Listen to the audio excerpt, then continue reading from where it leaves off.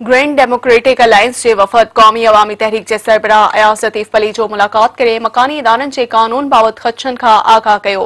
हैदराबाद में डॉक्टर सफ़दर अब्बासी, सरदार रहीम ऐं हसनैन मिर्ज़ा जी अॻवानी में जेडीए वफ़द क़ौमी अवामी तहरीक जे सरबराह अयाज़ लतीफ़ पलीचो सां मुलाक़ात कई। जेडीए वफ़द अयाज़ लतीफ़ पलीचो खे मकानी इदारे वारे क़ानून बाबति ख़दशनि खां आगाह कंदे लोकल गवर्नमेंट क़ानून सुप्रीम कोर्ट जी हिदायतुनि मूजिब हुअणु घुर्जे। उन हाई कोर्ट में दरख़्वास्त दाख़िल कराई आहे। सूबे में सिहत ज़रात तालीम तबाह थी चुकी है क़ौमी अवामी तहरीक के सरबराह अयास लतीफ़ फली जो त बिटी मकानी इदारनि वारे क़ानून खे कंहिं बि सूरत में क़बूल न कयो। वेंदो मकानी खाते जो निज़ाम हुक्मराननि बदिरां अवाम जे मुफ़ाद में हुअणु घुर्जे सिंध में पाणी, बल्दिया ड्रेनेज जा समूरा इदारा नाकाम थी चुका आहिनि अयाज़ लतीफ़ पलीजो जो चवणु हो त सिंध जे मिडल क्लास ऐं नौजवाननि खे मकानी चूंडनि में भरपूर नमूने सां हिसो वठणु घुर्जे। सिंध पब्लिक सर्विस कमीशन खे फौरी तौर ते बहाल कयो वञे। ख़राब हुक्मरानी ऐं करप्शन ख़िलाफ़ गॾिजी मैदान अमल में अचणो पवंदो।